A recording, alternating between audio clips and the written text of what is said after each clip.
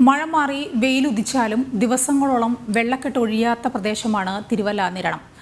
Upper കുട്ടനാട്ടിലെ മറ്റു പ്രദേശങ്ങളിൽ നിന്നെല്ലാം വെള്ളമൊഴിഞ്ഞാലും നിരണത്തെ വെള്ളക്കെട്ട് ഒഴിയില്ല.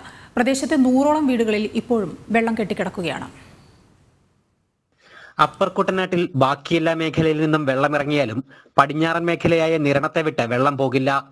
പഞ്ചായത്തിന്റെ വിവിധ പ്രദേശങ്ങളിലായി നൂറോളം വീടുകളിൽ ഇപ്പോഴും വെള്ളം കയറി കിടക്കുകയാണ് കുടുംബാരോഗ്യ കേന്ദ്രം കൃഷിഭവൻ മൃഗാശുപത്രി തുടങ്ങിയ സ്ഥാപനങ്ങളും വെള്ളത്തിലാണ്. വിയപുരം ലിങ്ക് ഹൈവേ ഡെക് farm Alanthuruthy road Thottadi Vattadi road S B T Thottudama road തുടങ്ങിയ പ്രധാന വഴികളിലെല്ലാം വെള്ളം കയറി കിടക്കുന്നു.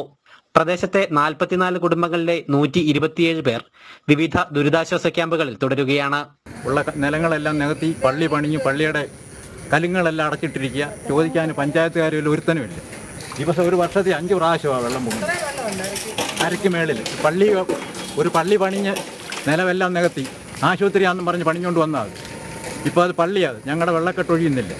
ആരോടെ പറയാനാ? പഞ്ചായത്തുകാർ ശ്രദ്ധിക്കുന്നില്ല. ഇവിടെ ഒരു പഞ്ചായത്തുണ്ട്. ഒന്ന് നോക്കാനും പിടിക്കാനും ഒന്നുമില്ല ഒരുത്തിന്. ഇത് പറഞ്ഞു കഴിഞ്ഞാൽ നിങ്ങളുടെ ന്യൂസുകാരേലും കൂടെ ഒന്ന് കാണണം. ഒരു വർഷമായിട്ട് ഇവിടെ ഭയങ്കര വെള്ളമാണ്. നീന്തി നീന്തി കുഴഞ്ഞ് അരയ്ക്ക് ചുറ്റും മേടി വെള്ളമുണ്ട്. തെങ്ങിന്റെ ചൂട്ടിൽ പോലും പോകാൻ വയ്യ. ദുരിതമാണ്. ഞങ്ങൾ എങ്ങനെയാണ് പട്ടിണി കൊണ്ട് ദുരിതമാണ്? ഈ സർക്കാർ ഇതിനു വേണ്ടി എന്നാങ്കിലും നടപടിയെടുക്കും. പമ്പ മണിമല അച്ചൻകോവിൽ എന്നീ നദികളിൽ എവിടെ ജലനിരപ്പ് ഉയർന്നാലും നിരണത്തെ ബാധിക്കും. ഇത്തവണ അച്ചൻകോവിലാറ്റിലെ വെള്ളപ്പൊക്കമാണ് നിരണത്തിന് തിരിച്ചടിയായത്.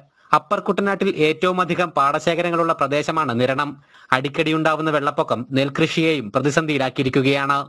ജനം പത്തനംതിട്ട.